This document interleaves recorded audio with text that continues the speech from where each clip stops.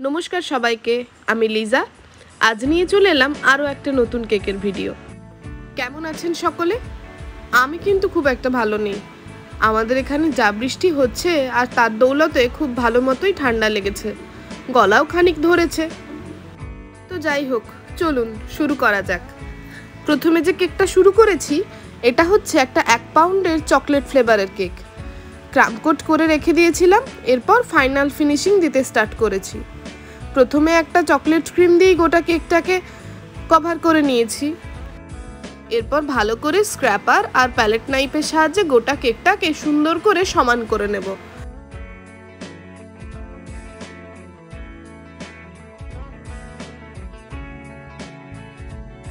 সমান করা হয়ে গেছে। এরপর কেকের উপরে দিয়ে দিচ্ছি গানাচ।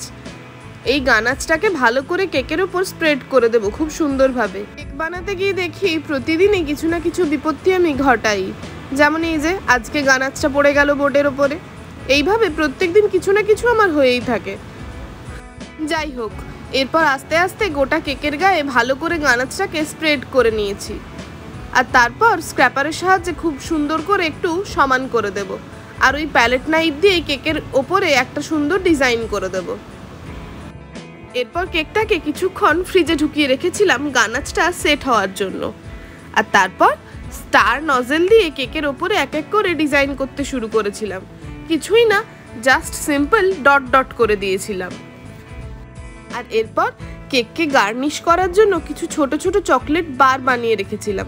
সেগুলো এক এক করে কেকের উপর বসিয়ে দিচ্ছি। আর তারপর কেকের উপর ছড়িয়ে দেব কিছু গোল্ডেন কালারের স্প্রিঙ্কল আর তারপর কেকের নিচে চকলেট কালারের ক্রিমেরই একটা বর্ডার বানিয়ে দেব। আর সবশেষে একটু গোল্ডেন কালার স্প্রে করে দিলেই আমার এই কেকটা রেডি এটা কিন্তু একটা নতুন কেকের ডিজাইন অবশ্যই আপনারা ট্রাই করে দেখবেন। আর আমাকে কমেন্ট করে জানাবেন।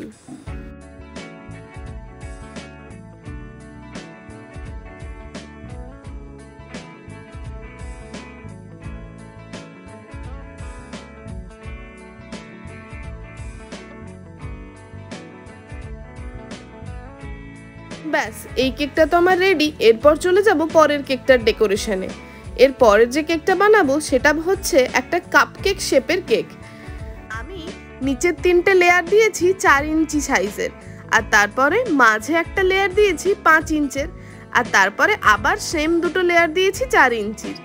ব্যাস, দিয়ে এরকম একটা শেপ চলে এসেছে। আমি ওটাকে ক্রামকোট করেই রেখেছিলাম।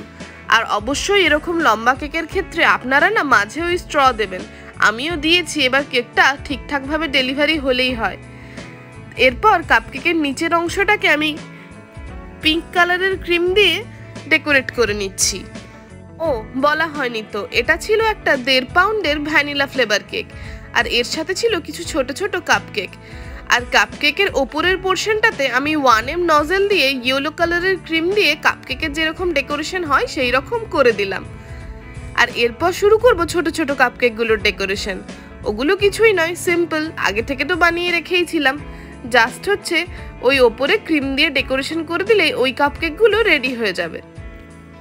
এই কেকটা যার অর্ডার সেই দিদি ভাই আমাকে প্রত্যেকবারই নতুন কিছু ট্রাই করতে দেয়। আর আমার খুব ভালোও লাগে। সে প্রত্যেকবারই খুব আনকমন কিছু জিনিস আমাকে পাঠায় বানিয়ে দেওয়ার জন্য। আর আমিও চেষ্টা করি। ব্যাস কেকটা আমার প্রায় হয়ে এসেছে। এরপর ছোট ছোট কিছু ফন্ডেন্টের ফুল বসিয়ে দেব। ওই যে বললাম, আমার তো বিপত্তি হবেই, এই যেমন আবার ক্রিম পড়ে গেল। যাই হোক, এইভাবেই বানিয়ে নিয়েছি। আর এরপর ওপরে কিছু ছোট ছোট গোল্ডেন কালারের স্প্রিঙ্কেল দিয়ে আর ফুলগুলো দিয়ে কেকটা কমপ্লিট করে ফেলেছি। এই বর্ষাকালেও যে ফন্ডেন্ট বানানো কী যে অসুবিধা, সে ভালোই বুঝতে পারি।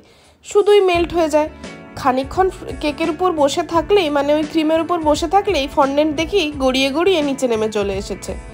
তবে ওই একটা কি সুবিধা? কেকটাকে যদি বক্সের মধ্যে ভরে রাখি, তাহলে দেখা যায় যে ফন্ডেন্টগুলো খুব একটা মেল্ট হয় না। এটা আপনারাও ট্রাই করে দেখতে পারেন। সকলে কমেন্ট করে জানাবেন আজকের দুটো কেকের ভিডিও আপনাদের কেমন লাগল। আর অবশ্যই আমার চ্যানেলটাকে একটু সাবস্ক্রাইব করে দেবেন। সকলে ভালো থাকবেন, সুস্থ থাকবেন। কাল হাজির হব আবার নতুন কোনো ভিডিও নিয়ে। নমস্কার।